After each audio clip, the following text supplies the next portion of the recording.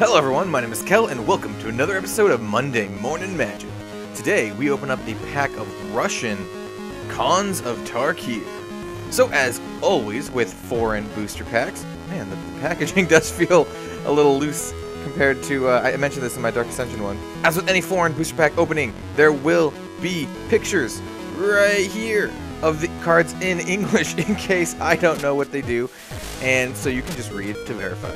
I'm mostly only going to talk about cards um, that I already know what they do, and maybe a little bit of the art. Anyway, without further ado, let's crack in. Will we get a fetch land?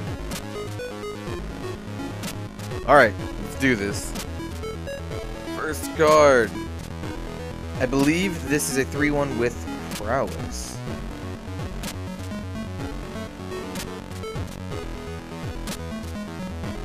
And we have this archer. Probably has reach. And I would be willing to guess morph.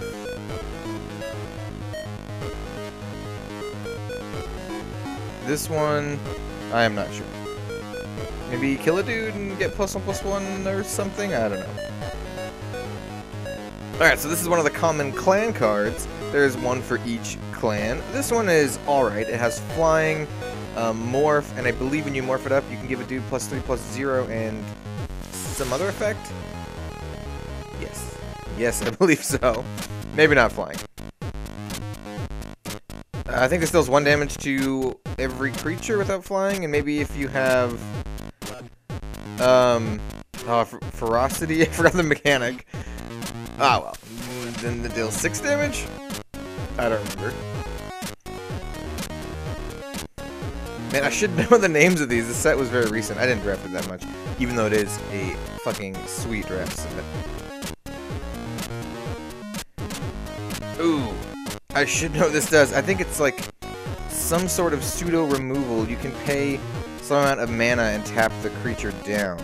Or is it untap it? Maybe it taps the creature down and it doesn't untap during its controller's untap step. You can pay 6 to untap it. I believe that is what it does. Alright. Just one of the dual lands when it comes, in, comes into play tapped. When it comes into play, you gain one life, and it adds a blue or a red. That pretty cool um, Russian script. Kind of cool. We have this dude.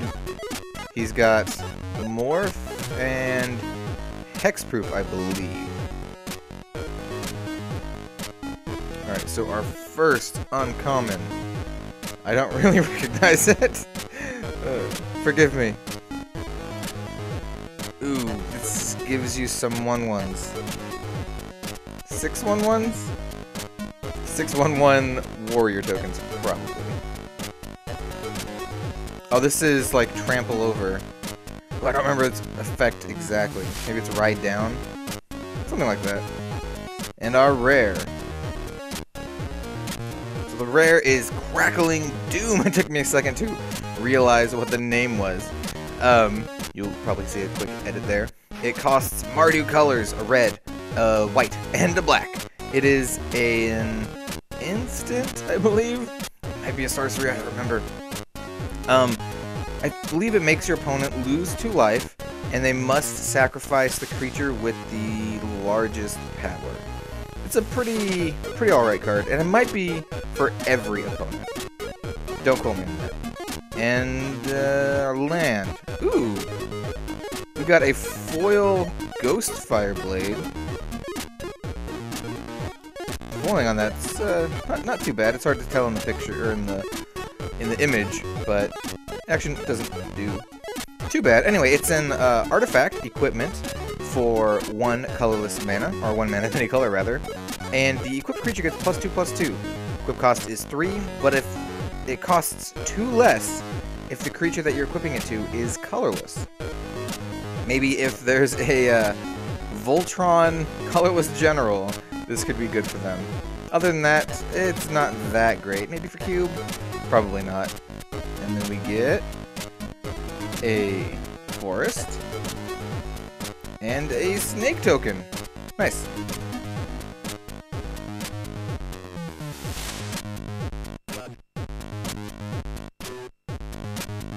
Alright, as always, I will decide what I would pick if I was Chaos Drafting this pack.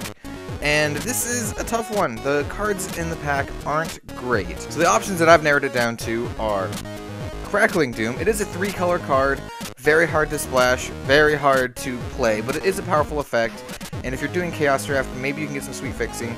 Or I would simply take the sweet fixing, keep my colors open, and possibly try to pull something else sweet from the next pack. Super safe bets would be cards such as this dude and this dude, and I wouldn't fault you for wanting to take the cheap blue removal. Alright guys, so that was another episode of Monday Morning Magic. I hope you liked the video, and I also hope to see you next time. Have a good one all, bye bye.